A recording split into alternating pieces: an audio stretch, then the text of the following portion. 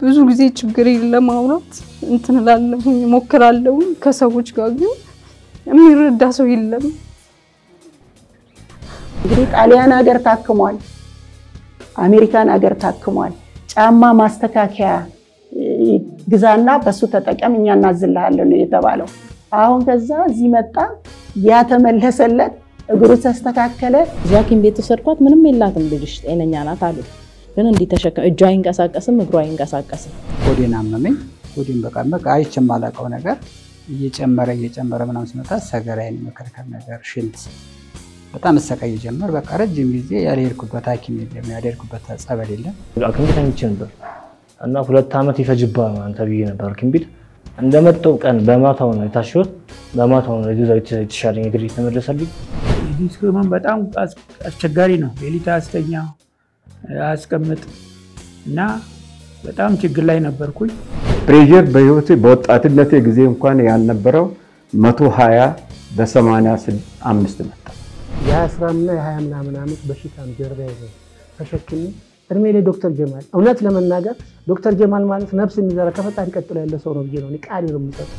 ዛሬ አምስት ዓመት ነው በሽታው የመኪና አደጋ የደረሰብኝ። እስካሁን ድረስ አልጋ ላይ ነበርኩኝ። 1997 ላይ ነው ዲስክ የተባልኩት። ይሄ እጅ አይንቀሳቀስም። እንደዚህ አንስቼ ለመብላት አልችልም። ይሄም እግሬም እንደዛው ነበረ። እዚህ ስመጣ በእንደዚህ አይነት ወንበር እዚህ ውስጥ በዱላ አድርገው ከዚህና ከዚህ ዱላውና ከይሄና ይሄ እንደዚህ ይዘው ነበር ያመጡኝ። እጄ ደግሞ ወደ ላይ ከፍ ማለት አይችልም። ዲስክ በትከሻዬ አለ፣ በወገቤ አለ። በሁለት እግሩን የሚሄድ ሰው ሲያይ ማለት ነው። አሁን አልዋሽም፣ በጣም ቀና ነበር። ህመሜ ነርቭ ነው እና ሁለት አይኔ ነው ያጠፋኝ። ሁለት አይኔ ማየት አልችልም።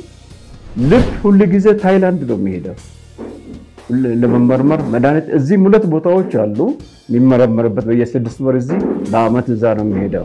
ህክምና ሄጄ ሲሄድ ግን ያንተ በቃ ኦፕራሲዮን ካልሆነ አይቻልም፣ ሊመጣ አይችልም ነው። አሁን እኔ በደረቴ ተኝቼ ይሄ እግሬን ወደ ኋላ አጥፈውት እስቲ ለቀቅ ለማድረግ ሲሉ ይወድቅ ነበረ። አሁን እዚህ ጋር ግን ተኝቼ እኔ አጥፌ ማሳየት እችላለሁ። እዚህ ጋር አሁን ለዚች ቀን መብቃቴ አልሐምዱሊላህ።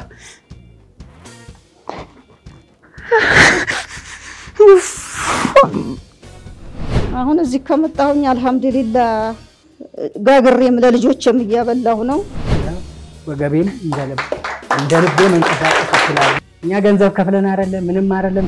አንዳንዴም እኔ ጀማል የተፈጠረው ለእኔ ብቻ ነው ያልኩበትም ቀን አለኝ። ተርፋለሁ ብዬ ሳልል እግዚአብሔር የተመሰገነ ይሁን።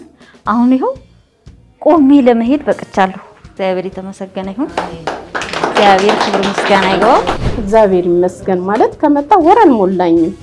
ገና 15 ቀኔ ነው። አሁን እንደፈለኩ እግሬን